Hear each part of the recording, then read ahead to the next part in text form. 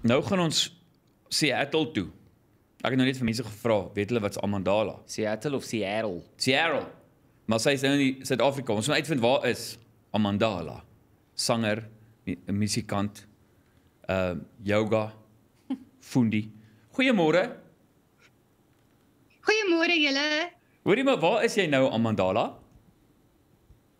Ek is nou op die oomblik in Port Elizabeth by my ma en ek sit nou hier in my ma se huis en uh dit is wonderlik om in Suid-Afrika te kuier en dit is nou so lekker om nou hierdie Zoom call te doen sommer van Suid-Afrika af. Hoorie maar, is dit so nou jou sê jy is in PE en almal is so bekommerd oor Port Elizabeth. Is die mense bekommerd? Is hulle hou hulle by die reëls? Wat gebeur daar? Nee, ag die mense hou nie by die reëls nie. Jy ry maar verby die poskantore of jy ry maar en dan sien jy maar die mense dra nie maskers nie. So dit is kommerwekkend en uh, maar ek ons doen maar ons beste om onsself veilig te hou, jy weet, sanitize en so maar dit is ja, nie almal dra maskers nie. Ons wil almal almal sien met maskers, maar nou ja. Ehm um, so dit is kommerwekkend. Hoorie man, net net om vir mense of jou nou voor te stel aan hulle want hulle sê altyd jy begin lekker mense gesels. Ehm um, jy is nou 'n sanger, musikant, jy het nou net soos hulle noem 'n EP uit. Ehm um, weet maar jy ja. maak al vir 'n vir 'n ruk musiek, maar wat jou interessant maak is al vir 17 of meer jare in Seattle. Ehm um, en dis nou waarvan ek weet jy ek het gesien jy's ook groot aanhangers van van Paul Jam en jy het al saam met ek dink is hulle drummer gewerk. So de, hulle is maar ek dink hulle hulle en Bill Gates het Seattle op die map gesit. Maar vertel ons net 'n bietjie agtergrond, waar het jy groot geword? Hoe het jy hoe het jy opgeëindig in Seattle en dan so 'n bietjie van die musiek ons net oor die album kom? Ja, so ek uh, groot geword, ek gebore in Kaapstad en ons het maar baie rondgetrek, was ook in Ermelo gebly vir 'n ruk en van daar af Port Elizabeth toe en uh, Stellenbosch gaan studeer vir eerste jaar en toe hierso by Nelson Mandela uh, Metropolitan Universiteit het ek 'n regsgraad gedoen en uh toe ek in Johannesburg gaan werk, um, ek het nie artikels gedoen nie, um, ek het begin werk, um, daar het ek by um, regsfirma was, het ek sommer um, gegaan in IT recruitment, so ek was meer in tegniese computerrigting en uh, van daar is ons Amerika toe en um, want jy weet uh, dit was maar daai tyd wat dit baie gevaarlik was in Johannesburg. En ja, so het dit maar so gewerk ehm um, dat ons nou maar in Seattle, jy weet, geland het. Want Seattle is mos maar die hub van uh, tegnologie. En daar is toe nou so baie musiek in Seattle. En en vir die eerste paar jare toe ons in Seattle is, toe kon ek ook nou nie uh, werk nie. So toe het ek maar net baie yoga studeer. Ehm um, totdat ons ons groen kaarte gekry het dat ek uh ook kon werk. So toe het ek net yoga gedoen en musiek gemaak. So ehm um, dit is maar jy weet hoe dit so gebeur het. Koop ek antwoord jou vraag. Nee, verseker, nee, ons wil jou net bietjie beter leer ken. En dan was dit nou ook ja. interessant jy het 'n uh, jy weet jy so jy is Amanda Lambregt. Maar nou soos jy sê, mense in Amerika Lambrecht. Ek weet hulle gaan dit kan sê nie. Intoe jy jou naam na met P. Ja, so Amanda Lamprecht met 'n P. So hulle sukkel bietjie met die Lamprecht. Dit besluit ek ag Amanda en dan La van die Lamprecht en Amanda La of Amandala. En die mense is natuurlik mal daaroor want dit uh dit klink soos Mandela en ek kom van Suid-Afrika en dan ook dit klink soos 'n mandala uh wat uh, jy weet 'n sirkelpatroon is wat mense gebruik om te konsentreer of op te mediteer. So dit het half daai holistieke um jy weet approach ook. So uh, dit is nou maar alles so saamgevat in die naam. So dit pas eintlik mooi, jy weet, ehm um, dat ek van Suid-Afrika is en dit klink so 'n bietjie Afrika. Amandala, ja. dit is Hendrie. Ek weet nie of jy geweet het nie toe mense so sit en 'n mense navorsing vinnig doen en kyk wat 'n mens kan raak lees en dis meer. In ja. 2018 het The Citizen ook ehm um, gerapporteer of berigte nou gegee oor uh ek dink dit was ook 'n kunstenaar, jy moet my help hier as ek verkeerd is, wat in 2018 uh, dit was amper soos 'n 'n woord wat ewe skielik ontstaan het in plaas daarvan om te gesê het Amandla wat ons nou weet as dit direk vertaal word dan nou krag of power beteken, het die persoon toe nou gegaan en gesê Amandala en dit was toe nou op almal se lippe gewees. Ek weet nie of jy daarvan weet nie. So ja, ek dink mense kan Mense ja, kan dit dalk verwar met Amandla. so 'n bietjie krag. Ja, en dit is so funny want my nuwe album is Stronger. Wow. So jy weet, dit miskien is dit nou maar net hoe dit alles, jy weet, bymekaar pas. So jy weet. So ja. as jy so praat van van stronger, ek ek dink 2020 was een van daai jare wat ek dink niemand wil dit hoor hê nie. Almal wil net hy moet so stilletjies verdwyn. Um in 'n moeilike tye, wat maak jou sterker? Wat gee vir jou krag om te sê ek staan op, ek doen wat ek moet doen al is dit nie noodwendig altyd so maklik nie. Ja, is ek nog steeds praat ek nog steeds met Henry? Yes. Ja, okay, maar ek kan julle mos nou nie sien nie. So uh ja, so ek sal sê Hendrie, ehm um, maar wat ek myself mee voed. Jy weet, ehm um, en dit is waar waarna ek kyk, waarna ek luister. Ehm um, jy weet uh, hoeveel TV ek kyk, jy weet hoe ek stres oor die COVID of nie. Ehm um, en dat ook dat ek half elke dag net in die oomblik kan wees. Ek dink ek ek dit hou, dit hou my sterk om te om, om daai dankbaarheid te hê want ek dink ehm um, hierdie jaar het ons almal tot 'n punt gebring dat ons weet, jy weet ons ons het net vir vandag en ons moet dankbaar wees vir die oomblik wat jy nou in is. So ek dink dit maak my baie uh, sterk en ook die gevoel dat ehm um, ja, jy kan nog steeds kuns doen, jy kan nog steeds jou musiek doen, jy kan nog steeds jou, jou yoga doen, jy kan werk van die huis. So bietjie om te sien die glas is vol en jy, jy weet leeg nie. Ehm um, jy weet so ek dink dit dit maak my sterk en dan ook die ondersteuning wat ek kry van my familie en my vriende. Ons almal ehm um, praat maar op op uh, WhatsApp video call en uh, ons ons bly maar connected. Al kan ons nou nie mekaar sien in persoon nie. Mm. Uh Amanda ons gaan nou nou verder met jou gesels uh, want ek wil nou 'n bietjie uitvind ook hoe jy die album gemaak het deels in Seattle en ook Sunset Studios Stellenbosch. Dit klink vir my soos 'n international collab, maar bly geskakel ja. en dan dan is jy meer van hierdie opwindende musikant. Welkom terug hier by die Groot Ontbyt Groot FM 90.5 en dan ook op kyk net as jy nou net ingeskakel het ons gesels met Amandala en sy's musikant wat ook in Seattle bly, maar 'n uh, album nou opgeneem met Stronger. Dis 'n sewe ehm um, sewe liedjies op die album, soos hulle noem 'n EP. En dan uh, ook in Seattle en ook by Sunset Studios, 'n legendariese plek in Stellenbosch. Amandala, welkom terug.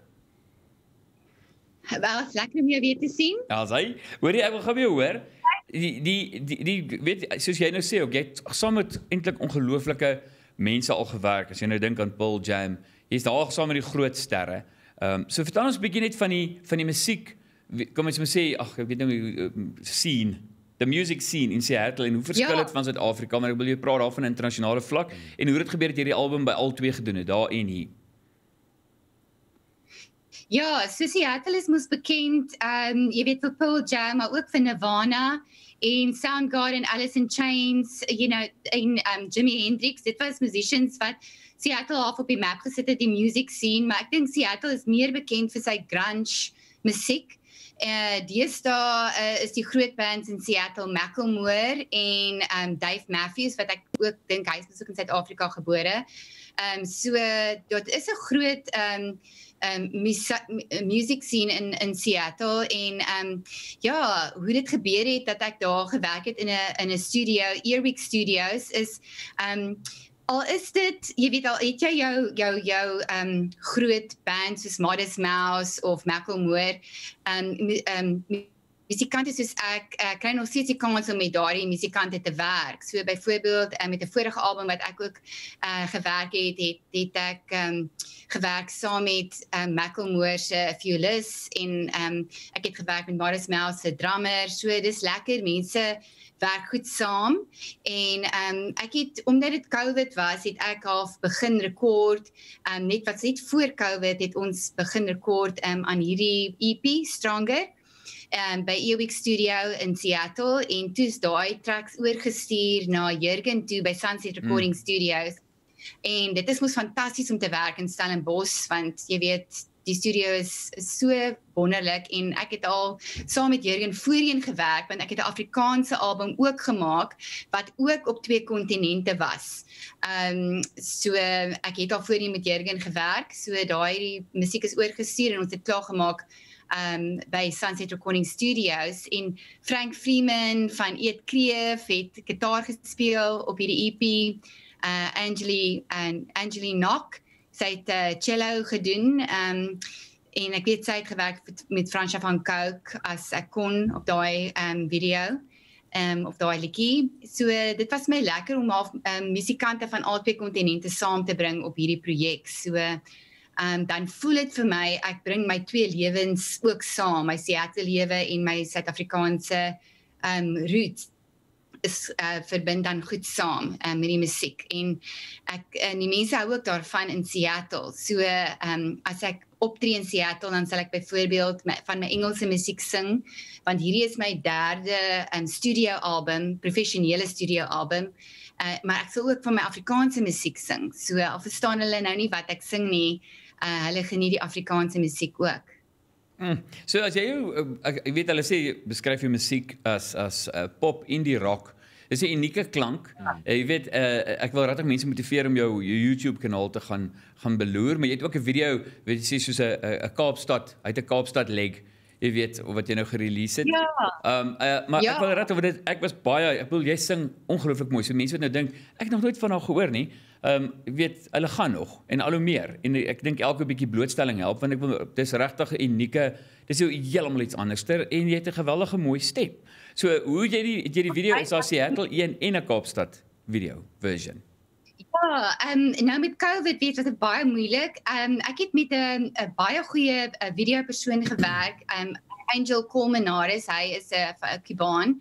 Ek het al voorheen 'n video gemaak saam met hom en uh toe COVID nou um is soos ons almal nou mos nou in lockdown. En toe weet ek ek wil die video's uitbring vir hierdie album uh want dit is maar weet mense luister op, op iTunes en so maar as hulle 'n visual visual kan sien van die musiek dan is dit half mooi. Jy weet jy jy het iets wat kleursvol is en mooi is en dan jy ook die musiek dit dit kom so mooi saam.